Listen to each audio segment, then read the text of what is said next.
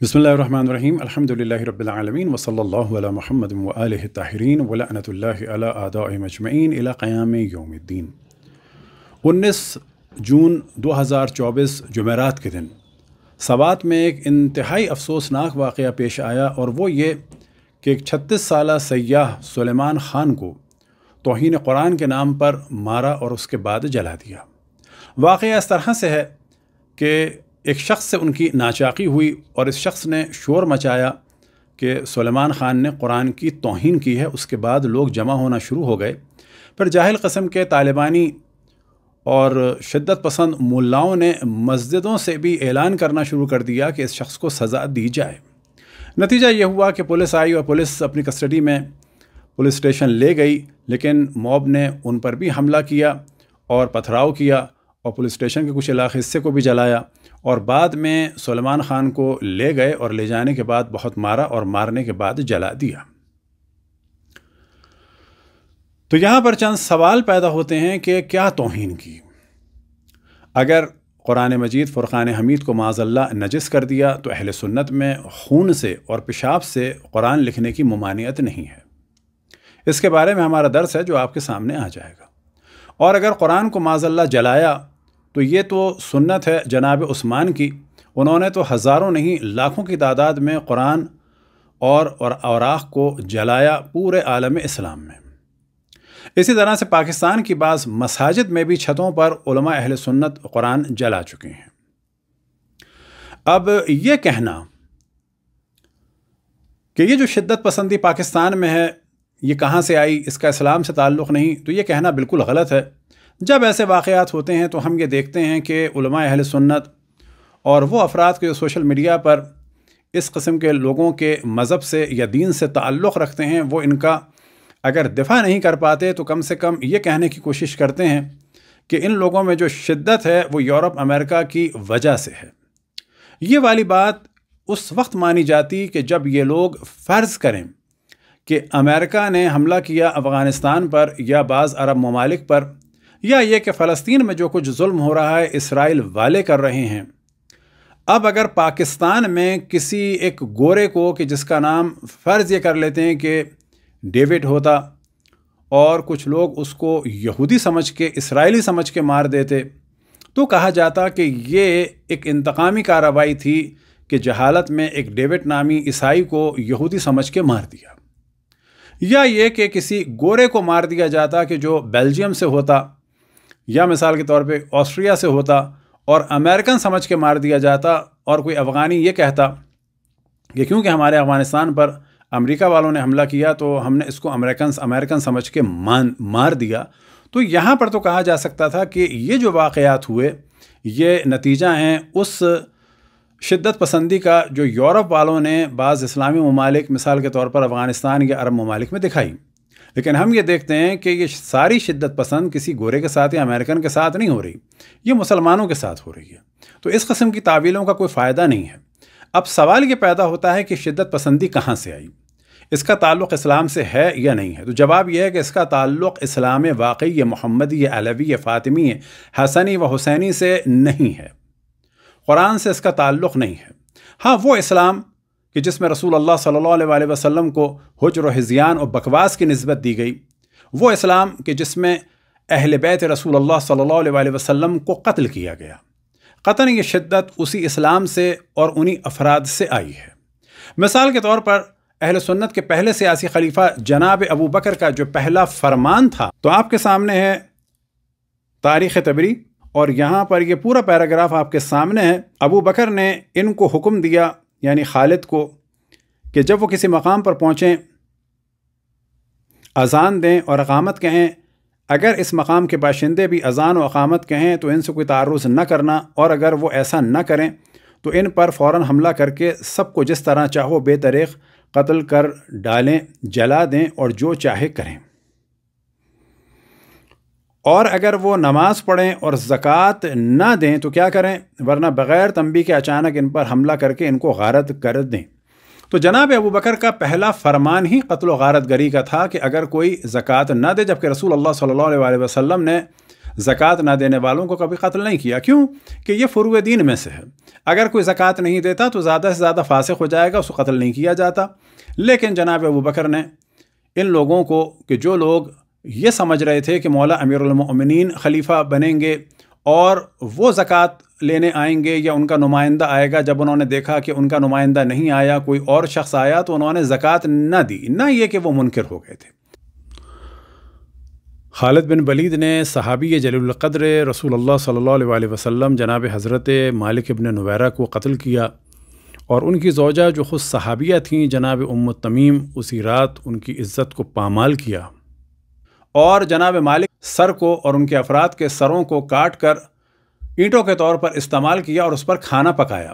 تو اب اگر کوئی یہ کہے کہ یہ جلانا اسلام سے اس کا تعلق نہیں ہے تو بالکل صحیح ہے۔ اسلام محمدی، علوی، فاطمی، حسنی، حسینی سے اس کا کوئی تعلق نہیں ہے۔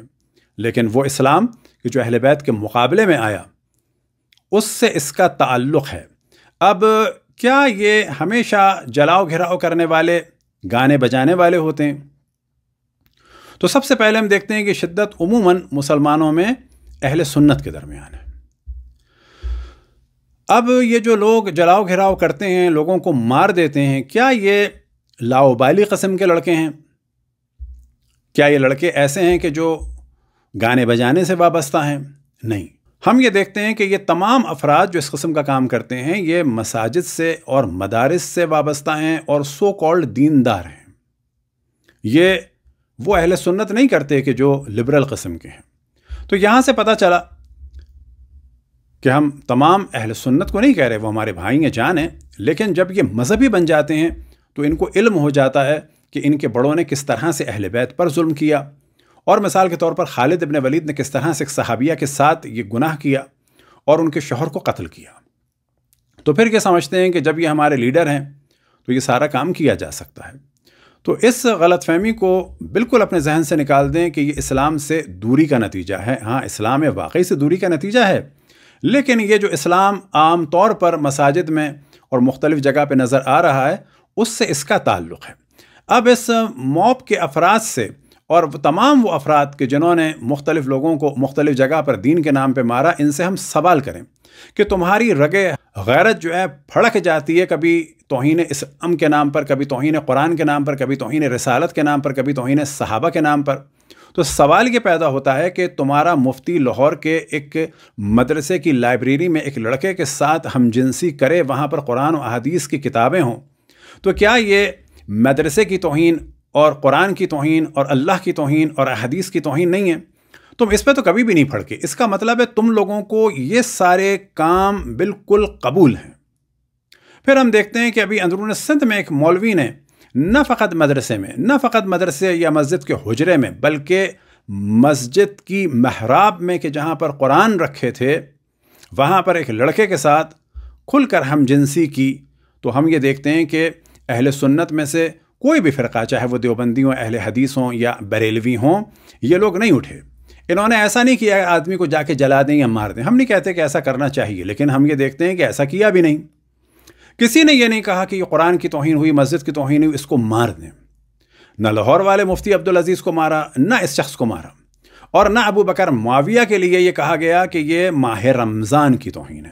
ہاں اگر ماہ رمضان میں کوئی بیچارہ جوان پانی پی لے تو اس کو تو آپ ماریں گے۔ اگر ماہ رمضان میں کوئی جوان فرض یہ کر لیں کہ کچھ کھا رہا ہو روڈ پہ، اس کو تو آپ ماریں گے، لیکن آپ کا مولوی ماہ رمضان میں تراوی کے بعد ایک بچے کے ساتھ ہم جنسی کرے اس کو نہیں ماریں گے۔ تو یہاں سے پتہ چلا کہ یہ ساری دہشت گردیاں دیندار لوگ ہی کرتے ہیں۔ مگر کس کے ساتھ کرتے ہیں؟ اپنے علماء کے ساتھ نہیں کرتے۔ ان کے کہنے پر عوام پر ایک دہشت بٹھاتے ہیں، ان کو ڈراتے ہیں۔ اور یہ بتانا چاہتے ہیں کہ تم لوگ اگر بولو گے، تمہیں ہم مار دیں گے۔ لیکن اگر سوال کیا جائے کہ اگر کوئی یہی کام یا تقرآن کی توہین ایک عام اہل سنت کر دے یا عام فرد کر دے، وہ زیادہ قابل مذمت ہے یا یہ افراد قابل مذمت ہیں جو مسجد میں اور مدرسے میں اور مسجد کے حجرے میں ماہ رمضان کی شبوں میں تراوی کے بعد یہ کام کریں۔ اور پھر میں عرض کروں کہ دیوبندیوں، بریلویوں، اہل حدیثوں، انہوں نے ان اس معاملے میں تو احتجاج نہیں کیا۔ اگر یہ کبھی اس مدرسے کو گھیر لیتے تو کہا جاتا واقعا ان میں غیرت ہے قرآن کے لیے۔ کوئی غیرت قرآن کے لیے نہیں ہے، یہ فقط سادے عوام کو ڈرانا چاہتے ہیں۔ اب یہاں پر ہم توجہ دلائیں کہ سلمان خان ایک اہل سنت میں سے تھے۔ اب تھوڑا سا ان کے لیے دفاع ہو رہا ہے، لیکن اگر یہ شیعہ ہوتے تو ان کے لیے دفاع نہ ہوتا۔ کیوں؟ کہ حتیٰ جو ایکٹیوسٹ ہیں سوائے چند حضرات کے اور جو سوشل میڈیا میں لوگ ہیں، انڈیا میں اگر ہندو کسی کو مار دیں اور وہ اہل سنت میں سے ہو، تو تو فیس بک پہ یہ ایکٹیو ہو جاتے ہیں۔ لیکن پاکستان میں اگر مار دیا جائے، مثال کے طور پر کسی شیعہ کو، تو اس کے لیے ایکٹیو نہیں ہوتے۔ بس اگر یہ سلیمان خان کی جگہ کوئی سلمان نقوی ہوتا، تو پھر اس کے لیے یہ آواز نہ اٹھتی۔ وجہ کیا ہے؟ کہ اہل سنت میں دہشت گردی اتنی عام تھی اور ہے اور آپ کے سامنے ہمارا ایک لیکچر کا لنک آ جائے گا کہ تاریخ میں بہت بڑے بڑے جینوسائٹ ہیں کہ جو علماء اہل سنت اور ان کے خلفاء اور ان کے بزرگوں نے کیے ہیں اور پھر توجہ دلائیں کہ سب کچھ جو ہو رہا ہے یہ انہی لوگوں کی وجہ سے ہو رہا ہے کہ جو سوکول دیندار ہیں یہ وہ اہل سنت کے جن کو عام طور پہ لبرل یا سیکولر کہا جاتا ہے وہ ایسا کام نہیں کرتے اور بلا شک لبرل اہل لبرل اور سیکولر قسم کے اہل سنت حتیٰ یہ ہم کھل کے کہیں کہ جو گانے بجانے والے ہوں، وہ کہیں بہتر ہیں ان مولوی ملا ٹائپ لوگوں سے کہ جو بڑے آرام سے قانون کو بھی ہاتھ لیتے ہیں، ہاتھ میں لیتے ہیں اور قتل عام کرتے ہیں۔ یہ ان کا قتل عام کوئی نئی بات نہیں ہے۔ اب ہم توجہ دلائیں کہ پاکستان میں یہ روٹین میں چیز آ چکی ہے، یہ قانون بننا چاہیے۔ یہ کہنا کہ اب قاتل ان میں سے پتہ نہیں چلا، اگر سو افراد کھڑے ان سب کو قید کر دیں۔ ہزار افراد کھڑے ان سب کو قید کر دیں۔ اور سخت ترین ان سے کام لیا جائے، ان کو جیلوں میں بھی نہ ڈالا جائے، کیونکہ ان کو جیلوں میں فیسلٹی ملتی ہے، ان کو مختلف کانوں میں لگایا جائے۔ اور ایک شدت والا کام لیا جائے۔ ایک دفعہ، دو دفعہ جب ایسا کیا جائے گا، تو لوگ کبھی بھی ایسی جگہ پر جا کے جمع نہیں ہوں گے۔ اور اگر جائیں گے، تو کسی کی جان بچانے کی کوشش کریں گے۔ بالکل ویسے ہی جیسے کہ ایک مومن شخص نے کیونکہ وہ تعلیمات قرآن و اہل بیت سے آشنا تھا، تو سیالکوٹ میں ایک سری لنکا کے مینیجر کو بچانے کی کوشش کی۔ تو یہاں پہ سوال کرنا چاہیے، اتنے سارے اہل سنت میں سے ایک شیعہ کیوں نکل رہا ہے؟ اور وہ کہہ رہا ہے کہ مظلوم کسی کو نہ مارو وجہ کیا ہے کہ یہ فرق تعلیمات اہل بیت میں اور تعلیمات دشمنان اہل بیت میں۔ شدت پسندی پاکستان میں عام ہے۔ مثال کے طور پہ سلمان تاثیر صاحب کو مار دیا گیا، کیونکہ انہوں نے کہا تھا کہ توہین رسالت کا قانون مس یوز ہو رہا ہے آسیہ بی بی کے معاملے میں۔ انہیں مار دیا ممتاز قادری نے۔ اب یہ بتاتے چلیں کہ جب اہل سنت کی کتابوں کا ترجمہ انڈیا میں ہوا تو آریہ سماج کے لوگ عام طور پہ مطالعہ کرنے والے تھے۔ وہ ہندوؤں کے بھی اچھے خاصے خلاف ہیں، وہ عام ہندو نہیں ہیں۔ ان لوگوں نے اہل سنت کی کتابیں پڑھی۔ یہ سوچ کے کہ شاید ہمیں ایک راہ مل جائے، لیکن جو تعارف سے حیثیت اور کتب اہل سنت میں رسول اللہ صلی اللہ علیہ وسلم کا کرایا گیا ہے، تو پھر وہاں پر ایک پنڈت نے کتاب لکھی معذ اللہ معذ اللہ اس کا نام بھی مناسب نہیں، رنگیلا رسول۔ اس کتاب کو کے چھاپنے والے کو، کہ جس کا نام راجپال تھا، انیس سو انتیس میں مار دیا ایک بیس سال کے لڑکے نے، کہ جس کا نام تھا علم دین۔ اور اس کو بھی ورغلایا ملاؤں نے۔ اچھا ملا خود نہیں مارتے۔ اپنی قوم کے سادے بچوں کو بھیجتے ہیں، اپنے بچوں کو بھی نہیں بھیجتے۔ یہ خود ایک سوال کرنا چاہیے کہ جب بھی کسی کے ساتھ کچھ کرنا ہوتا ہے تو ملا خود بھی نہیں کرتے اور اپنے بچوں کو بھی نہیں بھیجتے۔ عوام کو سادے افراد کو استعمال کرتے ہیں۔ تو آپ کو تعجب ہوگا کہ اس نے قانون ہاتھ میں لیا اور بلا شک یہ ایک غلط کام کیا۔ قانونی جنگ ہونی چاہیے تھی۔ کیونکہ جو حوالے رنگیلا رسول میں دیے گئے ہیں، وہ سب کے سب کتب اہل سنت سے تقریباً ففٹی ایٹ صفحے کی یہ کتاب ہے۔ اب سلمان تاثیر صاحب کے والد ایم ڈی تاثیر، دین محمد تاثیر اس مسئلے میں بہت شور مچا رہے تھے اور علم دین کی پھانسی کے بعد نماز جنازہ کا اہتمام کرانا، جنازے کو ریسیو کرنا اور بہت زیادہ شور مچانا اور اس کو غازی قرار دینے کا کام انہوں نے ہی کیا تھا۔ کس نے؟ سلمان تاثیر کے والد نے۔ یعنی اس وقت جس نے اس کام کی بنیاد ڈالی تو آپ یہ دیکھیں کہ ٹوینٹی نائن میں انہوں نے یہ کام کیا اور سالوں بعد ان کے بیٹے کے ساتھ یہی کام کیا ممتاز قادری نے۔ تو جب تک ہم غلط کام کو سپورٹ کرتے رہیں گے ایسا ہوتا رہے گا۔ تو ہم یہ دیکھتے ہیں کہ کبھی جمعیت والے مار دیتے ہیں مشال خان کو توہین دین کے نام پر اور اس کے بعد ان کو کوئی سزا نہیں ہوتی۔ کبھی ہم دیکھتے ہیں ایک بینک مینیجر کو مار دیا جاتا ہے، ایک چپراسی مار دیتا ہے جو بریلوی ہے، کیوں مار دیتا ہے کہ اس نے توہین رسالت کی؟ تو کبھی ہم دیکھتے ہیں کہ مسیحوں کے ساتھ ظلم ہو رہا ہے، مثال کے طور پر، کبھی آسیہ بی بی پر ہو رہا ہے، تو کبھی ہم دیکھتے ہیں شہزاد مسیح اور ان کی بیوی شمع بی بی کو، کہ جو حاملہ تھیں، پانچ سال کے ان کے بچے کے سامنے زندہ بھٹے میں ڈال دیا۔ تو کبھی ہم دیکھتے ہیں کمسن بچی کو ایک مولوی نے اس پر یہ تہمت لگائی کہ اس نے قرآن جلایا ہے، وہ بچی کے جو بیچاری کچرا اٹھاتی ہے، وہ جو جانتی بھی نہیں کہ اردو میں، عربی میں، فارسی میں، قرآن میں، انگلش میں فرق کیا ہے۔ اس کو مارنے کی کوشش کی گئی۔ تو کبھی ہم دیکھتے ہیں کہ اسی طرح سے شور مچا کے جڑاں والا میں کتنی بری طریقے سے ظلم کیا گیا مسیحی برادری پر۔ تو کبھی ہم دیکھتے ہیں کہ حال ہی میں سرگودا میں ایک جوتا فیکٹری کے مالک کے لیے بھی یہ شور مچایا گیا کہ انہوں نے قرآن کی توہین کی، ان کو مارا۔ اور ان کے گھر والوں پر بھی ظلم کیا، پوری فیکٹری کو ختم کر دیا۔ تو کبھی ہم دیکھتے ہیں کہ سیال کوٹ میں منیب اور مغیث کو دو ہزار دس میں مارا اور وہاں پر بھی یہی ہوا کہ ان کو کہا کہ یہ چور ہیں، اس کے بعد مارنا شروع کیا اور جاہل عوام نے پوچھا بھی نہیں کیا چور کو مارا جا سکتا ہے اور واقع چور تھے یا نہیں تھے۔ اور اسی طرح سے ہم دیکھتے ہیں کہ لاہور میں خاتون جو خطاطی والی قمیض پہنی ہوئی تھی، جس پہ لکھا تھا ہیلو تو ہم یہ دیکھتے ہیں کہ اس کو قتل کرنے کی کوشش کی جا رہی تھی۔ اگر وہاں پر پولیس نہ آتی تو اسے قتل کر دیا جاتا۔ اب یہاں پہ ہم خصوصاً سوات کے لوگوں سے سوال کریں۔ اور عوام کو چاہیے کہ سوات اور اس قسم کے علاقوں کا مکمل بائک آؤٹ کریں، کیونکہ وہاں کا یہ حال ہے کہ اگر آپ کی کسی ٹیکسی ڈرائیور سے بھی اختلاف ہوگا تو آپ پر یہی الزام لگا کے آپ کو قتل کروا دے گا۔ کیوں احتجاج کریں؟ ممکن ہے کوئی کہے کہ وہاں ہوٹلوں کا نقصان ہوگا۔ نہ یہ ذمہ داری ہے وہاں کے سیاستدانوں کی، کاروباری حضرات کی، کہ ان لوگوں کو لگام دیں، ان ملاؤں کو لگام دیں۔ ان کا کھانا پینا بالکل بند کریں اور وہاں پر چرس اور ہیروئن کے کاروبار پر بھی پابندی لگائیں۔ سوال یہ پیدا ہوتا ہے کہ یہ ملا ان اسمگلروں سے پیسہ لیتے ہیں، زکوٰۃ لیتے ہیں جو ہیروئن بیچ رہے ہیں۔ البتہ یہ کام طالبان والوں نے بھی کیا۔